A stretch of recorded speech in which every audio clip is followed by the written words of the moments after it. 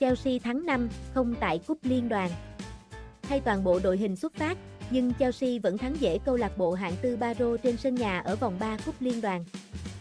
Gặp Baro, câu lạc bộ đang thi đấu tại League Two, giải hạng 4 bóng đá Anh, là cơ hội để Chelsea phô trương sức mạnh và chiều sâu đội hình. Đây cũng là cặp đấu có chênh lệch lớn nhất giữa thứ hạng hai đội ở vòng 3 Cúp Liên đoàn.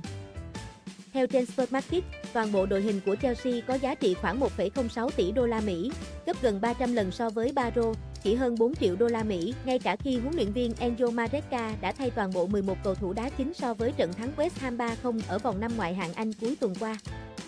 Đội hình xuất phát của Chelsea trước Baro vẫn có giá trị hơn 500 triệu đô la Mỹ. Trên sân Stamford Bridge, Ethemeluri áp đảo ở mọi thông số, khi kiểm soát bóng 72%, dứt điểm 20 lần với 10 cú trúng đích, so với 5 và 1 của đội khách. Phút 8, Hao Felix gãy bóng để Christopher Nunku xâm nhập vòng cấm, đặt lòng chéo góc mở tỷ số. Tiền đạo Pháp tiếp tục nổ súng ở phút 15, với cú đánh gót tinh tế từ đường căng ngang bên cánh phải của Malo Gusto. Phút 28, từ pha đá phạt cự ly khoảng 25m, Felix dứt điểm qua hàng rào, dội cột đập vào lưng Pau pha mang nảy vào lưới.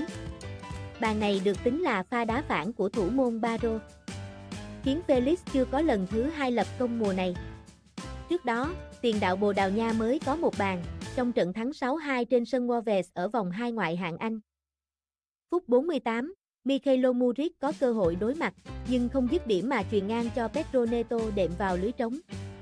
Tiền đạo Bồ Đào Nha ghi bàn đầu tiên, sau khi được Chelsea tuyển mộ với mức phí 65 triệu đô la Mỹ từ Wolves hè 2024. Mà nghề dạo chơi của Chelsea khép lại ở phút 75, khi Nunku cướp bóng của thủ thành pha mang trong vòng cấm rồi dễ dàng sút vào lưới trống, hoàn tất cú hat-trick. Nunku là cầu thủ Chelsea thứ hai lập hat-trick mùa này, sau Noni Maduket ở trận thắng Wolves 6-2 tại ngoại hạng Anh. Đây mới là lần thứ hai Chelsea gặp Barrow trong lịch sử.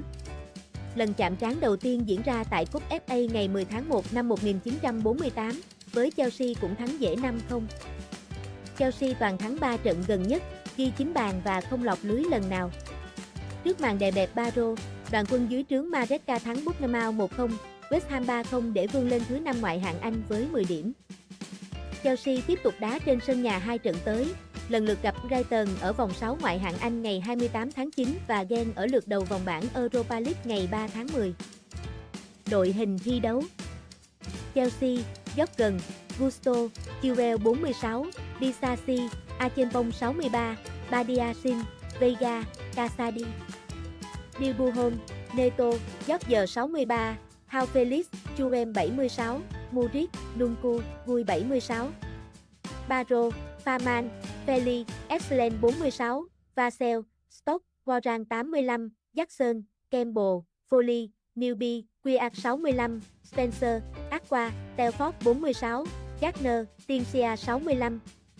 Các bạn hãy đăng ký kênh để cập nhật thông tin miễn phí mới nhất.